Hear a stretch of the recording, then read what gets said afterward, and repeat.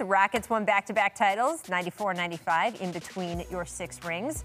And we know those were won in seasons Michael Jordan playing full, but former Rocket, current TNT analyst Kenny Smith said his teams would have beaten your Bulls teams even if you had MJ. Oh. Wow, he really he went for yeah, it here. Yeah. Um, we matched up well with them. We wouldn't have been scared. I tell you that much. I mean, Scottie, it's funny. We usually see players of your generation talking about how their team would have beat a current team. We don't usually see. I mean, y'all did play it out on the court, so. Uh, you know what? They were a West Coast team. We only mm-hmm. saw them, you know, once a year on their court. They mm-hmm. came to ours once. So you know, I think Kenny is playing off of that too much. Um, you know, he forgot what my role was. I cut the head off a snake. and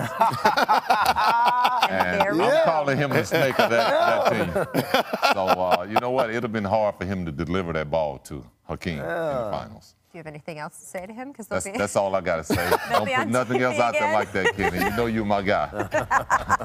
well, well, listen, I got something to say about it. I, I, you know, I played against both those teams and watched both those teams. Yes, you did. When Scottie and Michael were winning those championships, you know, the one thing that I, I take in consideration is this. When everybody starts talking about the greatest teams of all time, you hear about the Chicago team in seven, you know, that won 72 games. You hear about our Showtime teams. You hear about the Boston Celtics. And now you're starting to hear about Cleveland and, and Golden State teams like you never hear anybody say the Houston Rockets. I, I haven't heard not one person say the Houston Thank Rockets. You, so that in general, to me, right there tells me yeah, they, they wouldn't have no shot you, against them. You know why they don't? Because the Houston Rockets were really about one superstar. And then those very good role players that fit. Very, very good role also players. the way they won their second title, too. Yeah, it was, I mean, they were a six seed. They won 45 games that year. They were struggling. It's hard to call that a great team right, of all time. Exactly. So right.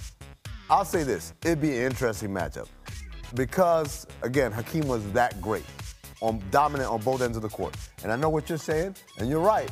But there might be games where they, they still get it to him and he's still going Well, it might be games where I have to go down there and guard. Absolutely. Absolutely. So, so it, it could have gone it could have gone either way. I think it would have been a great series, but again, I don't know. Like why are we talking about this now? Yeah, I, I don't know, but I, I, don't think it's gonna go either way. I, I just I just don't see I'm, Hakeem Houston was on beating. he's on, oh, Hakeem, he was on. Now listen, he was on was, one back then. He was awesome. There's no yeah. doubt about it. But best. Well, look, if you nah, and, and Michael and so. Kenny and Akeem and all the guys want to get, get back together, together now, no. we at the jump will host that. We can probably do a wheelchair. A wheelchair game. Just do half court. Just do half court. Just do half court. No running up and down. It'll be good. It'll be fine.